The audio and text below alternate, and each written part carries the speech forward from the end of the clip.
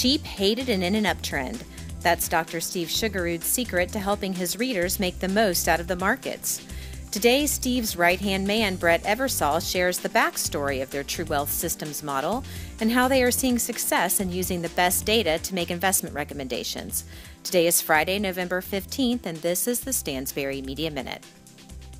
Uh, I thought we would discuss uh, the, basically the True Wealth Systems approach.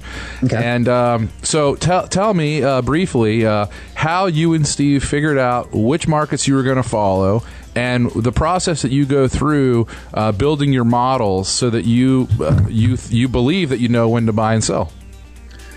Yeah, so what we have is a lot of data at our fingertips. And I mean, that's true for most everyone. So what we try to do is figure out what pieces of data are important. Um, I think one of the most important things I've learned from Steve, you know, he's got 20 years experience doing this, is that probably 80 or 90% of the pieces of data and things that you read, they just don't matter. And they might make for interesting news headlines and you see them all over CNBC.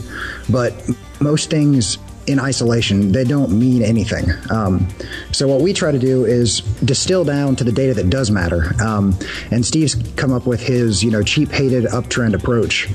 Um, what we've really tried to do with True Wealth Systems is just quantify that cheap hated and uptrend approach to figure out when the opportune times to buy and sell, you know, various sectors and various world markets are. To learn more about Stansberry and Associates, please visit www.stansberryresearch.com. To receive free daily investment information from Brett and other Stansberry analysts, just click on the link below. For the Stansberry Media Minute, I'm Sarah Wilson.